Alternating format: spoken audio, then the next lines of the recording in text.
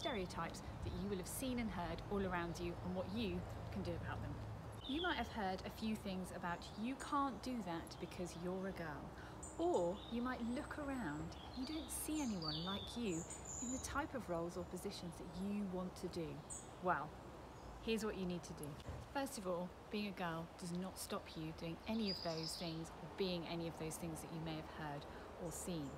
Number two, when people say that to you, ask them why they think that. What is it that makes them think that you, as a girl, would not be able to do it? And three, you can do whatever you want to do, so don't listen to them.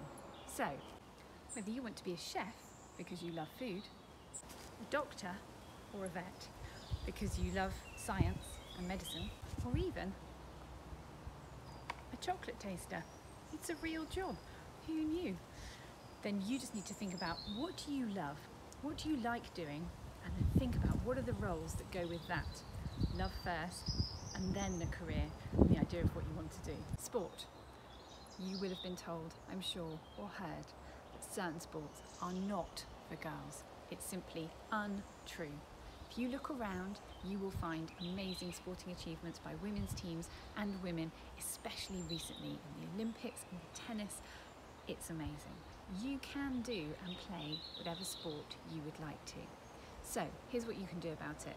Number one, if you're not playing sports at school that you would like to, or you're seeing that boys are playing different sports from girls, ask your teachers, your head teacher, why? Why is that? And what do you want to play? And how can they make sure that you get to play it? And try those sports out. Number two, find something that you love. Move around, try everything out, whether that's kicking a ball or whether it's catching a ball. Find some things that you like and then find the sport that goes with that. And then go and find a team. There will be one somewhere. Number three, practice taking up space. I want you to stretch. I want you to really stretch out. Be big because the more space you take up, especially when it comes to sport, then the more you will be part of that sport.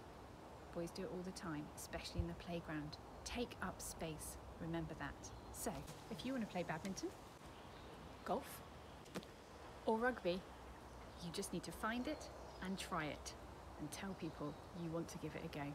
How you look. You'll have noticed lots of people want to tell you how you should look, what you should wear. You'll see it across all of the t-shirts with the slogans telling you to smile, telling you to be pretty, telling you to do all of those things. You don't have to do any of those things. And here's what you can do about it. Number one, ask why.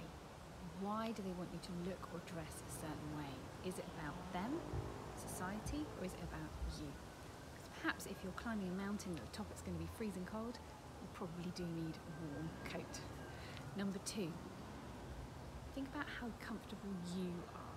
What is it that you want to wear? What, how do you want to look? And remember, because you do that one day or one week doesn't mean that that is absolutely how you have to dress and be. You can change that if you want to. And number three, and most importantly, this is about being happy with you.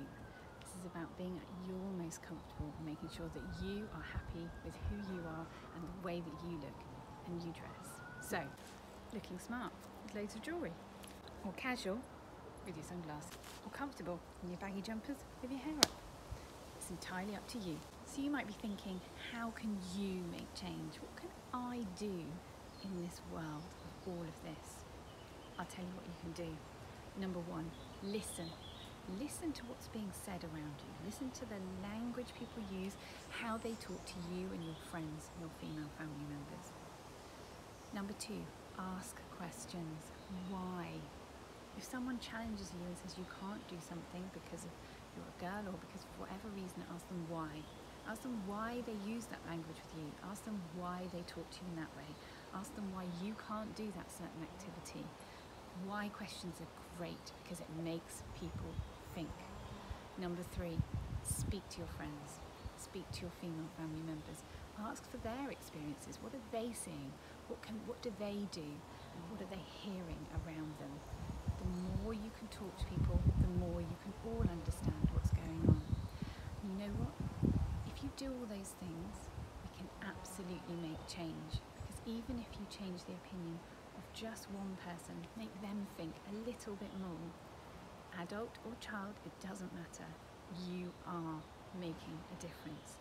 And remember, by asking questions and making change, you will be making a difference for all children of all genders. Because, like we say at Not Only Pink and Blue, we want to grow generations of equals. Thank you so much for watching and please do share any of your pictures or thoughts around any of this in the video and certainly you playing the sports, doing what you want to do and just being the individual that you want to be. Thank you.